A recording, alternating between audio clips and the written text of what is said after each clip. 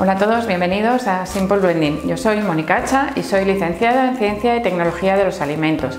En el vídeo de hoy os voy a enseñar a preparar una crema para tomar caliente, crudo y vegana de zanahoria.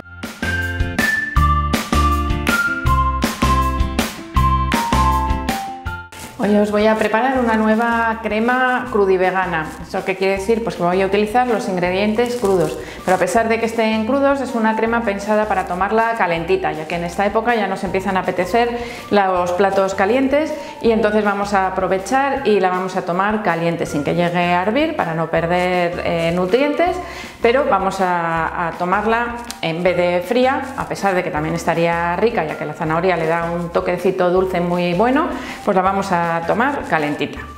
Bueno, los ingredientes que vamos a utilizar son los siguientes. Voy a utilizar como base líquida un vaso de 250 mililitros de agua, el equivalente a una taza medidora de 250 mililitros. El agua, como sabéis, bueno, pues, eh, nos hace falta, es imprescindible para nuestro organismo, ya que es la principal fuente de, de hidratación. Nos facilita el proceso digestivo, la absorción de nutrientes y también la eliminación de sustancias de desecho. Así que siempre os recuerdo que es muy importante mantenerse correctamente hidratados.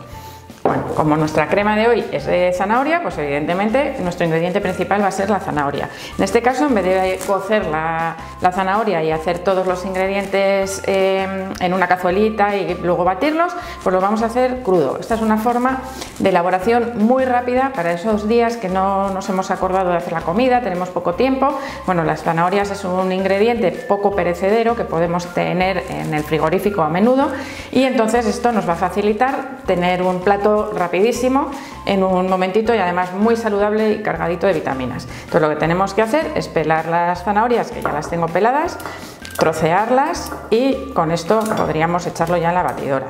Aquí os voy a hacer un recordatorio. Estas batidoras de alta potencia son capaces de triturar perfectamente la zanahoria y que no quede, eh, que no quede como grumosa, con una textura eh, como si tuviese trocitos. Bueno, si vosotros no tenéis o no disponéis de una batidora, un procesador de alimentos muy potente, lo que podéis hacer primero es rayar la zanahoria y de esa manera no vais a tener ningún problema a la hora de triturarla para que os quede una textura cremosa y buenísima. La zanahoria ya sabéis que es una buenísima fuente de fibra y de provitamina A, que es buenísima para la salud ocular. Bueno, vamos a añadirle para darle un poquito de cremosidad y que nos quede más sabrosa, en lugar de añadirle las almendras directamente, le voy a añadir una cucharada sopera de la crema de almendras que he preparado yo en casa. Entonces esto le va a dar un saborcito a almendra muy rico y además va a hacer que sea un poquito más cremosa. Le vamos a añadir una cucharada sopera. Así, no quiere caer. Después, para darle saborcito, siempre añadimos un poquito de ajo entre los condimentos. Si no os gusta el ajo, este ingrediente lo podéis eh, eliminar de la receta. Eh, yo le voy a añadir un trocito pequeño porque no quiero que predomine el sabor del ajo, sino el de la zanahoria, que ya sabéis que es un sabor dulce y es el sabor que quiero que predomine hoy en, en la crema. Entonces le voy a añadir un trocito de ajo. Otras veces, si veis mis vídeos, ya os sonará que el ajo crudo es muy beneficioso, ya que contiene alicina, que es una sustancia que está comprobado que tiene acción frente al cáncer y que al cocer o al freír o al cocinar el ajo es una sustancia que se pierde. Entonces, de vez en cuando, en algunas recetas podemos introducir el ajo crudo, como es en este caso. Pues le vamos a añadir también una cucharada sopera de aceite de oliva. El aceite de oliva, a ser posible, virgen extra, que es el, de mejor calidad. Es una fuente de grasas eh, insaturadas y además eh, es muy beneficioso, contiene vitamina E, que es un antioxidante y bueno, nos favorece la salud de nuestra piel también. Vamos a añadirle para condimentar un poquito de sal, media cucharadita de café y una pizquita de pimienta. La pimienta siempre os digo es un poco al gusto. Si os gusta más picante podéis añadir más, si no os gusta pues lo podéis eliminar o reducir un poquito más la cantidad. Es un poquito un ingrediente al gusto. Eh, otra propiedad que nos he dicho de la, de la, mantequilla de almendra es que es lo que nos va a proporcionar una parte de proteínas a esta receta, con lo cual vamos a conseguir que con la fibra, los hidratos de carbono y las proteínas, un plato que sea mucho más saciante que si no le añadiésemos las proteínas provenientes de la crema de almendras. Bueno, con esto tendríamos todos los ingredientes y podemos triturar.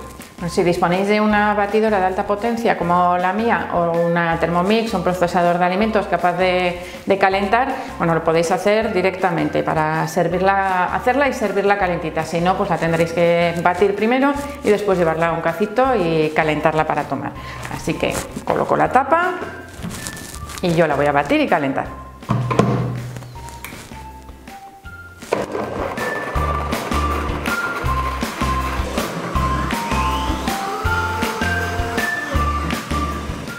Bueno, en aproximadamente 3 minutos tenemos la sopa lista y caliente, ya solo nos falta servirla. Así que cogemos un vaso, una taza, un plato bonito y la servimos. Muchas veces los colores no son los que nos esperamos. Ya veis que en este caso, en vez de quedarnos el naranja fuerte de la zanahoria, nos ha quedado un poco más clarito. Muchas veces estas, batidoras lo que hacen es añadir aire y eso hace que los colores se aclaren. Si lo dejamos reposar un ratito, probablemente recuperará un poquito del color naranja. Pero bueno, el color también ha sido bastante bonito y ahora lo vamos a decorar con un poquito de aceite de oliva. Y así tenemos preparado nuestro primer plato de hoy. La crema de zanahoria, como os he dicho, tiene un saborcito bastante dulce. Si queréis que predomine el dulce, podéis reducir también la cantidad de sal que hemos añadido. Si os gusta más saladita, bueno, pues con la cantidad que he añadido os quedará bastante bien. Es una, una crema que, como os he dicho, tiene un altísimo contenido en fibra, en proteínas, en minerales y además en antioxidantes, ya que contiene vitamina A y vitamina E del aceite de oliva, con lo cual es un plato, un primer plato o una cena muy saludable. Eh, espero que os haya gustado este vídeo y que os guste este tipo de recetas, así que si os ha gustado, darle al like y suscribiros al canal. Podéis ver vídeos de lunes a viernes a las 7 de la tarde, hora española, y seguirme en otras redes sociales, en Facebook, en Pinterest, en Instagram y en Twitter. También comparto contenido los fines de semana, así que no dejéis de seguirme. Y espero seguiros viendo a todos en los siguientes vídeos.